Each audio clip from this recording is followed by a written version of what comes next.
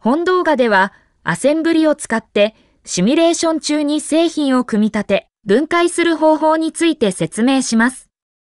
アセンブリの定義方法についての詳細は、組み立てや分解ができる製品を定義しようを参照ください。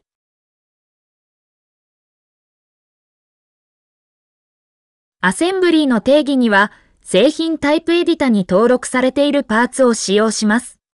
そのため、パーツを製品タイプエディタに追加します。e カタログウィンドウ、タイプ別モデル、 Product Containers から、 Parametric Pallet with Color、キューブ、 Lathe Comp 1、 Lathe Comp 2を 3D ワールド上にドラッグドロップします。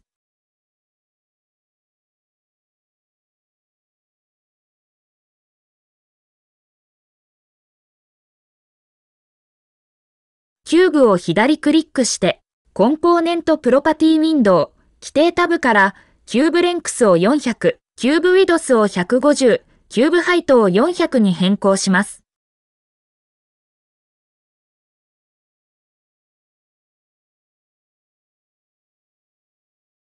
プロセスタブ、エディター、製品をクリックします。製品タイプエディタウィンドウ、製品の定義、フローグループを追加を2回クリックします。今回はパレットの上に各パーツを配置するアセンブリーを定義します。パレットの上に配置するパーツの定義をパーツ、パレットとアセンブリーの定義をパレッツに分けて設定します。フローグループ番号1の名称をパーツ、フローグループ番号2の名称をパレッツに変更します。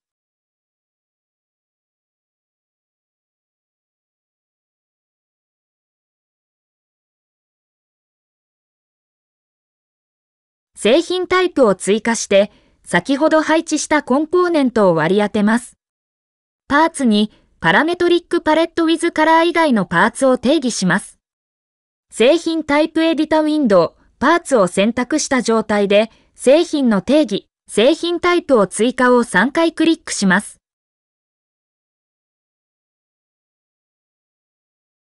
製品タイプ番号1をクリックします。ネームをボックスに変更し、ピックコンポーネントフロム 3D ワールドをクリックして、3D ワールド上のキューブを選択します。製品タイプ番号2をクリックします。ネームをシリンダに変更し、ピックコンポーネントフロム 3D ワールドをクリックして、3D ワールド上の Lathe Comp 1を選択します。製品タイプ番号3をクリックします。ネームをキャップに変更し、ピックコンポーネントフロム 3D ワールドをクリックして、3D ワールド上のレースコンプ2を選択します。製品タイプエディタウィンドウ、パレッツを選択した状態で製品タイプを追加をクリックします。製品タイプ番号1をクリックします。ネームをパレットに変更し、ピックコンポーネントフロム 3D ワールドをクリックして、3D ワールド上のパラメトリックパレットウィズカラーを選択します。これで、アセンブリーの定義に使用するパーツを製品タイプエディタに追加できました。次に、製品タイプエディタにアセンブリーを追加して、アセンブリーを定義します。製品タイプエディタウィンドウ、パレッツを選択した状態で、製品の定義、アセンブリーを追加をクリックします。アセンブリー番号1を選択して、名前をフルパレットに変更します。フルパレットを展開して、ステップ番号1を選択します。名前をパレットステップに変更します。ボックスとシリンダのアセンブリステップを定義します。パレットステップを右クリックして、ステップを追加を2回クリックします。追加したステップ番号1の名前をボックスイズステップ、ステップ番号2の名前をシリンダーズステップに変更します。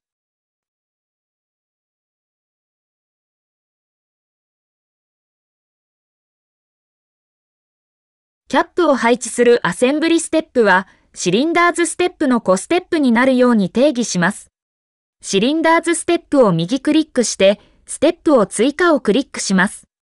追加したステップ番号1の名前をキャップスステップに変更します。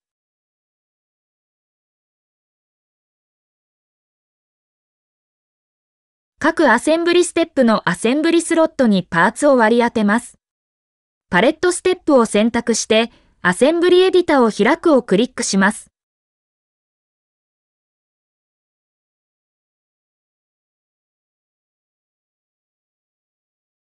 パレットステップアセンブリスロットを選択します。プロパティウィンドウから規定の製品タイプをパレットに変更します。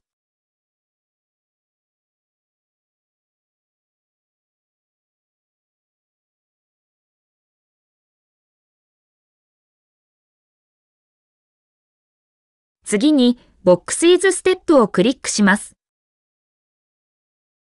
Boxes Step アセンブリスロットを選択し、プロパティウィンドウから規定の製品タイプをボックスに変更します。アセンブリスロット1つにつき割り当てるパーツは1つだけです。パーツを追加するため、アセンブリスロットを追加します。 Boxes Step アセンブリスロットを選択した状態で、9つの四角形アイコンのスロットを追加をクリックします。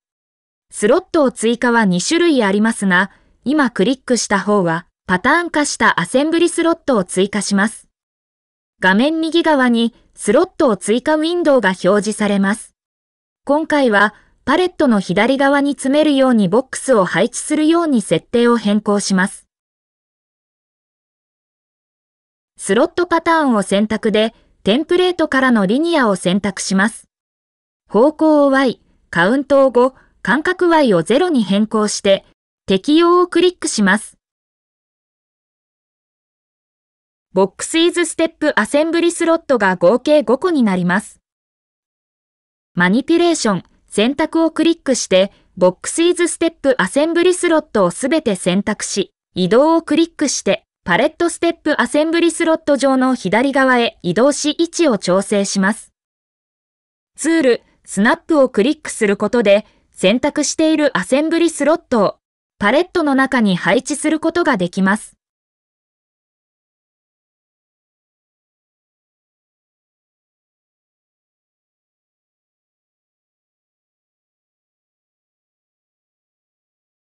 次に、シリンダーズステップをクリックします。シリンダーズステップアセンブリスロットを選択し、プロパティウィンドウから規定の製品タイプをシリンダに変更します。シリンダーズステップアセンブリスロットを追加するために、シリンダーズステップアセンブリスロットを選択した状態で、9つの四角形アイコンが表示されているスロットを追加をクリックします。シリンダを3行 ×3 列の合計9個配置するように設定を変更します。スロットパターンを選択で、テンプレートからのブロックを選択します。パターンの X を3、Y を3、Z を1に変更して適用をクリックします。シリンダーズステップアセンブリスロットが合計9個になります。選択でシリンダーズステップアセンブリスロットを全選択し、移動をクリックしてパレットステップアセンブリスロットの右側に位置を調整します。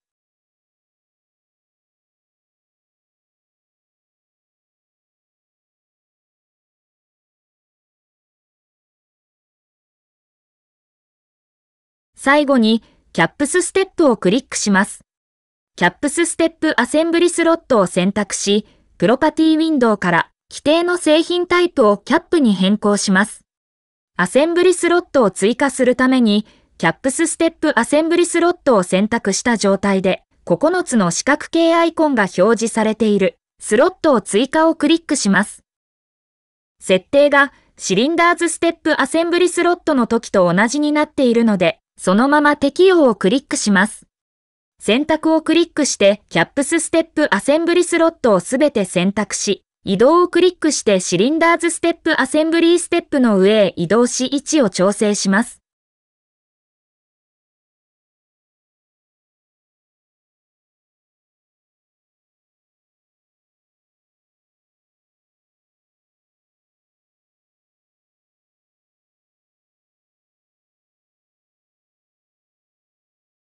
ここまででアセンブリーの定義ができました。製品タイプエディタウィンドウ、フルパレットをクリックすると全体像が確認できます。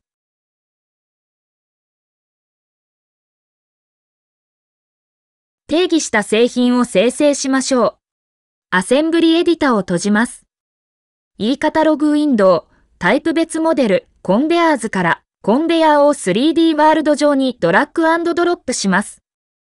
コンベヤをコピーペーストで合計3つにし、マニピュレーション、PNP をクリックしてコンベア同士を近づけて接続し、一つのコンベアにします。タイプ別モデル、PM フローコンポーネンツからフィーダーを 3D ワールド上にドラッグドロップします。マニピュレーション、PNP を選択した状態でフィーダーをドラッグし、コンベヤーに近づけ接続します。コンポーネントプロパティウィンドウ、プロダクトクリエイタータブからパーツをフルパレットに変更します。シミュレーションを再生します。フルパレットが生成されるようになります。アセンブリステップでアセンブリスロットの設定をするときに、規定の製品タイプがヌルの場合、アセンブリエディタ上では黄色のボックスが表示されていますが、シミュレーション中は何も生成されません。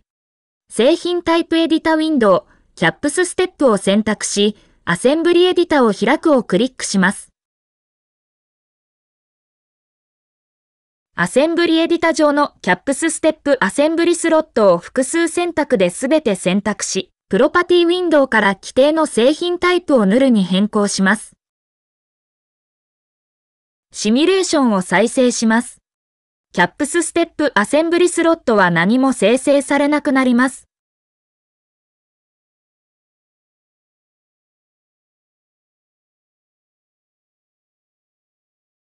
次に、プロセスのステートメントを使って製品を生成します。フィーダーを削除します。e カタログウィンドウ、タイプ別モデル、PM フローコンポーネンツからプロセスノードを 3D ワールド上にドラッグドロップします。マニピュレーション、PNP を選択した状態で、プロセスノードをドラッグしてコンベヤーに近づけ、接続します。エディター、プロセスを選択し、 Process Number 1をクリックします。ルーチンプロパティウィンドウから名前をクリエイトに変更します。 Transport In を削除します。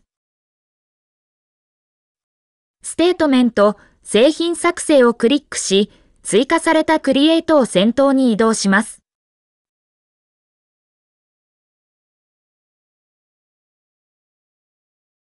Create を選択し、ステートメントプロパティウィンドウから製品タイプを Full Pallet に変更します。製品変数名を Product In に変更します。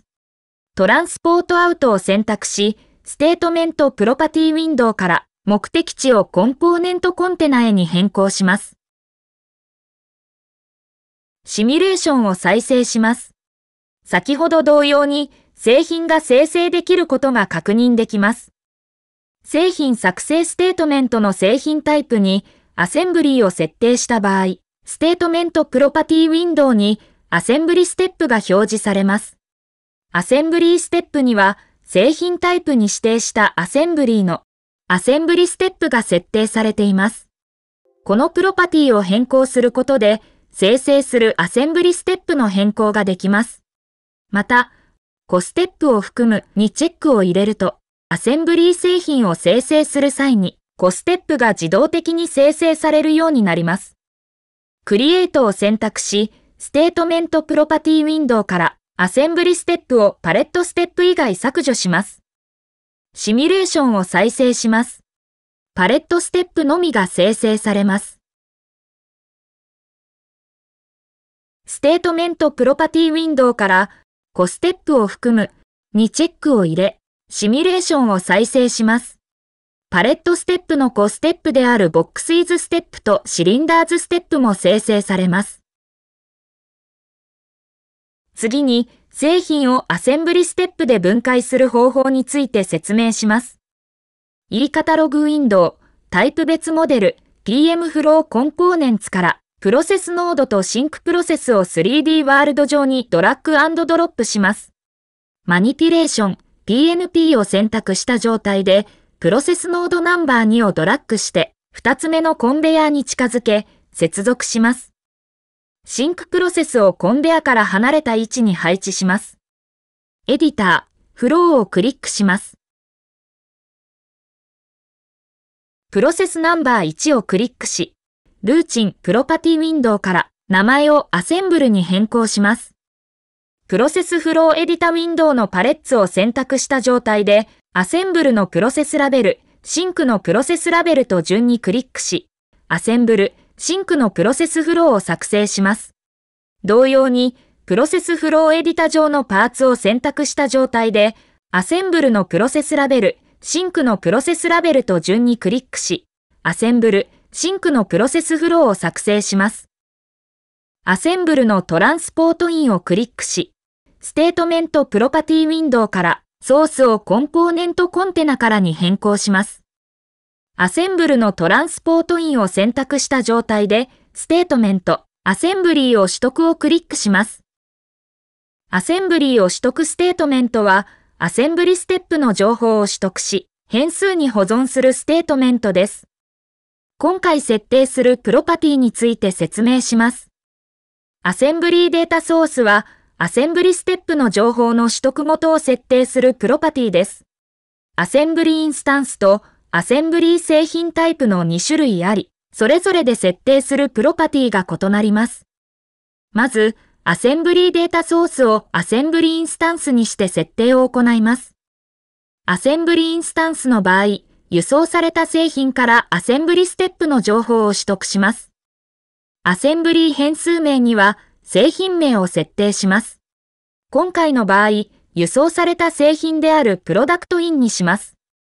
アセンブリステップは最後のステップ、製品ありに設定します。最後のステップとは、アセンブリーを生成するときに最後に実体化されるステップを指します。アセンブリーは、アセンブリエディタウィンドウ上の上層のステップから実体化されるため、最後のステップは最下層のステップになります。最後のステップ、製品ありの場合、最下層のステップから順番に製品の割り当てをチェックし、割り当てのあるステップの情報を取得します。今回の場合、最下層のステップは、キャップスステップになります。しかし、キャップスステップには製品が割り当てられていないため、最後のステップ、製品ありは、シリンダーズステップになります。そのため、アセンブリーオーダーにシリンダーズステップの情報が格納されます。ゲットアセンブリーを選択した状態で、ステートメント、 Transport Out をクリックします。追加された Transport Out を選択し、ステートメントプロパティウィンドウからモードを Process And Assembly に変更します。このモードは製品からアセンブリステップを取り出して輸送することができます。アセンブリ命令変数名にアセンブリステップの情報が保存されている変数を設定して輸送するアセンブリーステップを指定します。今回の場合、アセンブリー取得ステートメントで Cylinders ステップの情報を格納した Assembly Order を設定します。シリンダー部品はこのステートメントで輸送されるようになります。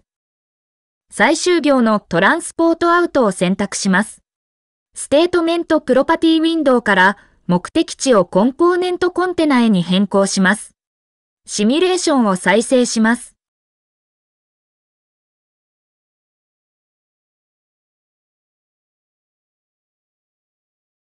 製品がアセンブルで分解され、シリンダはシンクへ、残った製品はそのままコンベアへ輸送されます。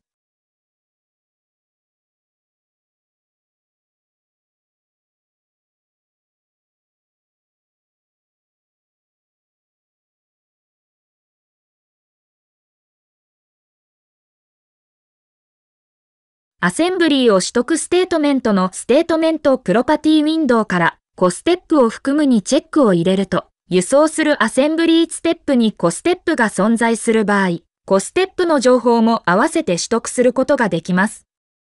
Get Assembly をクリックします。ステートメントプロパティウィンドウからアセンブリーステップを最初の完全なステップに変更します。完全なステップとは、すべてのアセンブリスロットに製品が割り当てられているアセンブリステップのことを言います。今回の場合、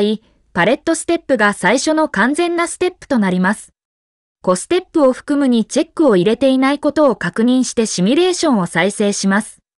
アセンブリーオーダーにはパレットステップの情報が格納されているため、パレットステップとそれ以外に分けて輸送されます。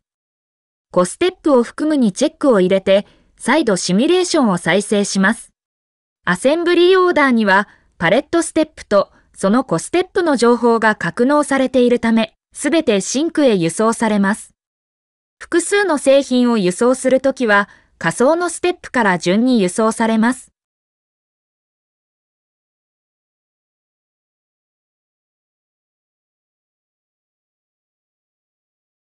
リストとしてリターンにチェックを入れると、アセンブリーの情報を取得して格納する際に、製品インスタンスのリストとして取得することができます。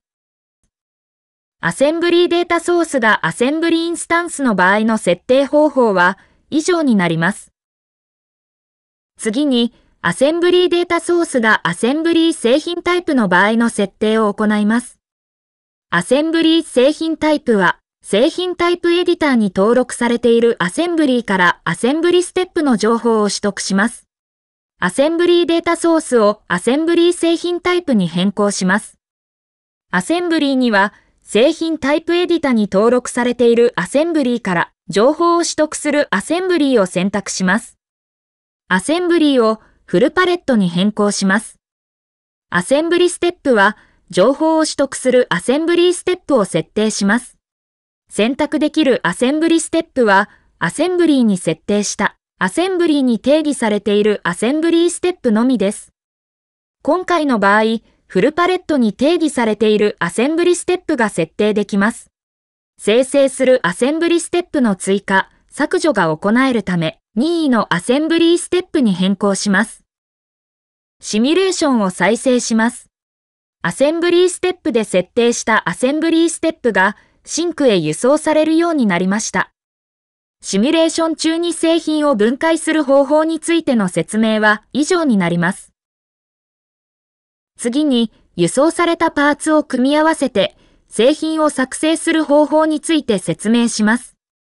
ゲットアセンブリーを選択し、Full Pallet の情報をすべて取得するように変更します。ステートメント、 Transport In をクリックして、 Get Assembly の後に Transport In を追加します。ステートメントプロパティウィンドウからモードを Process And Assembly、アセンブリー変数名を Product In に変更します。4行目のトランスポートアウトを削除します。各パーツを生成するフィーダープロセスを設定します。E カタログウィンドウ、タイプ別モデル、PM フローコンポーネンツからフィーダープロセスを3つ配置します。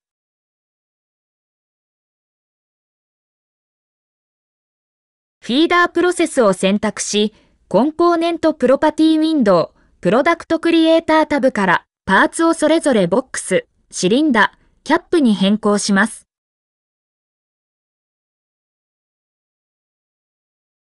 パーツと Pallets のフローステップの先頭にフィーダーを追加し、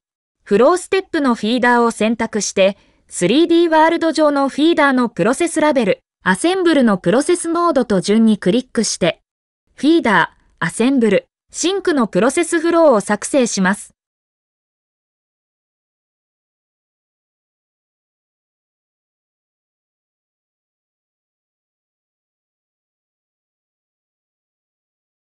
シミュレーション再生中の様子を確認しやすくするために、フィーダープロセスを手前に移動します。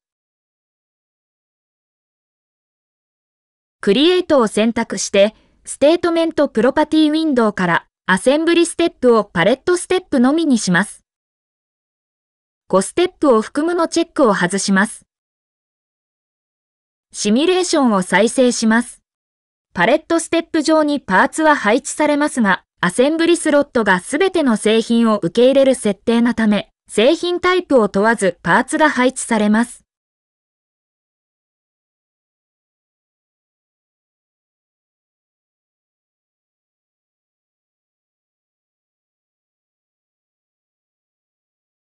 アセンブリスロットの設定を変更してフィルタリングすることで、アセンブリステップの設定通りにパーツを配置できます。製品タイプエディタウィンドウ、ボックスイズステップを選択して、アセンブリーエディターを開くをクリックします。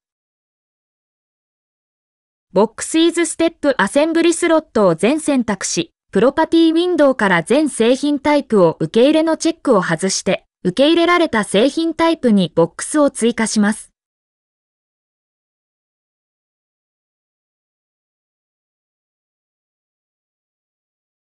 同様の手順で、シリンダーズステップ、キャップスステップのアセンブリスロットの設定も変更します。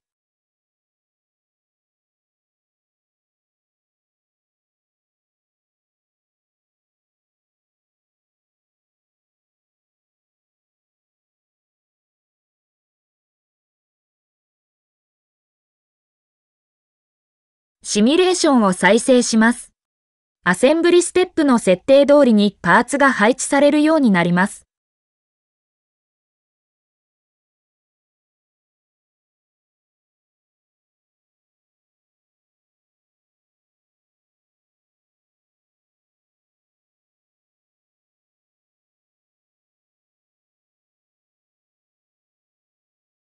アセンブリスロットのオーダーインデックスを設定することで、アセンブリスロットを配置する順番を変更することができます。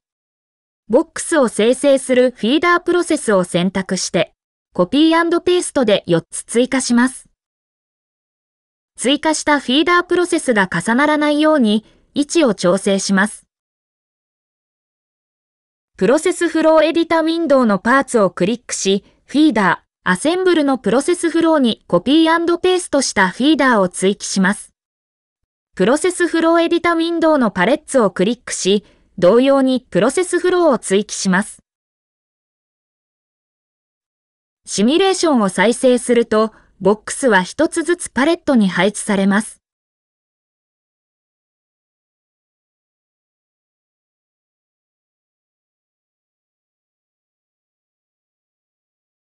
オーダーインデックスを変更して、Boxes Step が同時に配置されるようにします。製品タイプエディタウィンドウ、 Boxes Step を選択して、アセンブリエディタを開きます。アセンブリエディタ上の Boxes Step アセンブリスロットを複数選択で全て選択し、プロパティウィンドウからオーダーインデックスを1に変更します。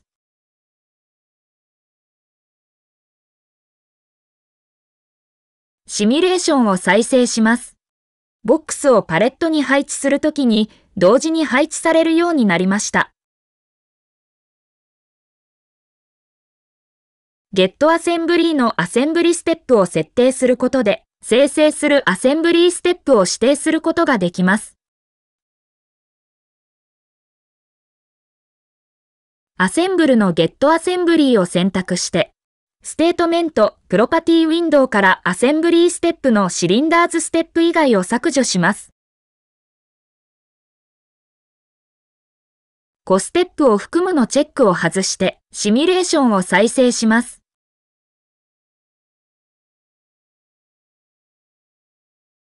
パレットにはシリンダのみが配置されるようになります。製品を組み立てる際にすでにパーツが配置済みのアセンブリーステップがある場合は、そのアセンブリステップの輸送はスキップされます。 Create Process の Create ステートメントをクリックします。ステートメントプロパティウィンドウからアセンブリステップに Cylinders Step を追加します。アセンブルの Get Assembly を選択して、すべてのアセンブリーステップを生成するように変更します。シミュレーションを再生します。あらかじめパレットステップ上に配置されているシリンダーズステップの輸送はスキップされます。以上で、アセンブリー機能を使ってみようを終わります。ご視聴ありがとうございました。